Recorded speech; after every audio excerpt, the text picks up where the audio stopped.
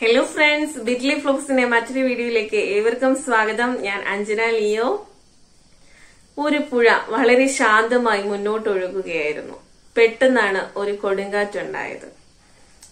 പുഴയുടെ ഓരത്ത് നിന്നൊരു മരം ഒടിഞ്ഞു പുഴയിലേക്ക് വീണു. എന്താണ് സംഭവിക്കുക? ഒരു നിമിഷം പുഴ അതിന്റെ ഒഴുക്ക് നിർത്തിയേക്കാം. അടുത്ത നിമിഷം വീണ്ടും അത് മുന്നോട്ട് ഒഴുകാൻ തന്നെ തുടങ്ങും.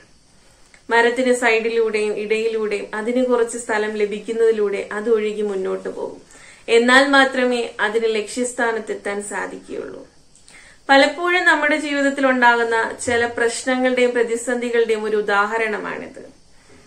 നാം ശാന്തമായി ജീവിതം മുന്നോട്ട് നയിക്കുമ്പോൾ പെട്ടെന്നാണ് ഒരു മരമൊടിഞ്ഞു വീഴുന്ന വേഗത്തിലാണ് നമ്മുടെ ജീവിതത്തിലും പ്രശ്നങ്ങൾ അല്ലെങ്കിൽ പ്രതിസന്ധികൾ കടന്നു വരുന്നത് ഒരു നിമിഷം നാം പകച്ചു നിൽക്കും. എന്തു ചെയ്യണമെന്നറിയാതെ.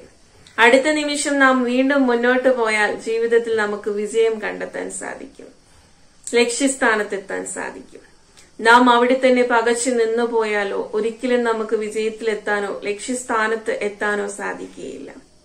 എന്റെ ജീവിതത്തിൽ എന്റെ അമ്മ എന്നെ പഠിപ്പിച്ചൊരു പാഠമുണ്ട്. പ്രശ്നങ്ങളോ പ്രതിസന്ധികളോ എന്തുമായിക്കൊള്ളട്ടെ അതൊരിക്കലും നിന്നെ കീഴ്പ്പെടുത്തരുത്. നീ അതിനെ കീഴ്പ്പെടുത്തണം. നിങ്ങളും അത് തന്നെ ചെയ്യണം. എന്ത് പ്രശ്നമോ പ്രതിസന്ധികളോ ആയിക്കോട്ടെ അതൊന്നും നിങ്ങളെ കീഴ്പ്പെടുത്തരുത്. നിങ്ങൾ അതിനെ കീഴ്പ്പെടുത്തണം. നാം ഇപ്പോൾ കടന്നുപോയിക്കൊണ്ടിരിക്കുന്നതും ഒരു പ്രതിസന്ധിയാണ്. കൊറോണ എന്ന മഹാമാരി. എത്രയോ മഹാമാരികളെ അതിജീവിച്ചു വന്നൊരു സമൂഹമാണ് നമ്മുടേത്.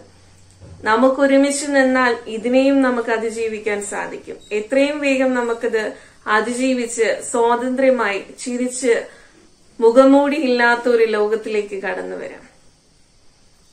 നമ്മുടെ ജീവിതത്തിൽ നമുക്ക് മുമ്പ് കടന്നു പോയിട്ടുള്ളവർ എന്തെങ്കിലും പ്രശ്നം വരുമ്പോൾ അതൊരു അവസാനമല്ല അതൊരു ആരംഭമാണെന്ന് നമ്മളെ കാണിച്ചു തന്ന ഒത്തിരി ആൾക്കാരുണ്ട്.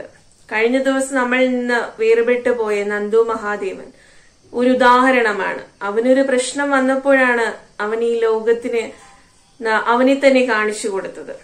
അവനൊരു മാതൃകയായിരുന്നു ക്യാൻസർ രോഗികൾക്ക്. പലപ്പോഴും എത്രയോ പേർ ക്യാൻസർ വന്ന് മരിക്കുന്നു. ആരാലും അറിയപ്പെടാതെ. അതിലൊരാളായി മാത്രം ഒതുങ്ങിപ്പോകാണ്ടിരുന്ന ഒരു ജീവിതമായിരുന്നു. പക്ഷെ നാം എല്ലാവരും ഇന്നും അവനെ ഓർക്കുന്നുണ്ടെങ്കിൽ അവൻ കാണിച്ചു ചെന്ന ജീവിത മാതൃകയാണ് അവൻ എഴുതിയൊരു കവിത ഇപ്രകാരമാണ്. മരുന്ന് മരുന്നിനേക്കാൾ മായാജാലം മനസ്സ് കാട്ടുമ്പോൾ. അതെനിക്ക് ഏറ്റവും ഹൃദയത്തിൽ സ്പർശിച്ച വരികളാണ്. നമ്മുടെ ചുറ്റും എന്ത് പ്രശ്നങ്ങൾ വന്നാലും നമ്മൾക്ക് മനസാന്നിധ്യമുണ്ട് മനസ്സിന് ധൈര്യമുണ്ടെങ്കിൽ അതെല്ലാം മറികടക്കാൻ നമുക്ക് സാധിക്കും. നിങ്ങളും അതുപോലെ ചെയ്യുക. എന്തൊക്കെ പ്രശ്നങ്ങൾ വന്നാലും ആരും നിങ്ങളെ ധൈര്യപ്പെടുത്താൻ കാണില്ല. പക്ഷെ നിങ്ങൾ വിചാരിച്ചാൽ നിങ്ങളുടെ മനസ്സിനെ ധൈര്യപ്പെടുത്തി മുന്നോട്ട് പോകാൻ സാധിക്കും. ജീവിതത്തിൽ ഇതൊരു പാഠമാകട്ടെ. അപ്പോൾ ഇനി മറ്റൊരു വീഡിയോയുമായി കാണുന്നവരെ ബൈ.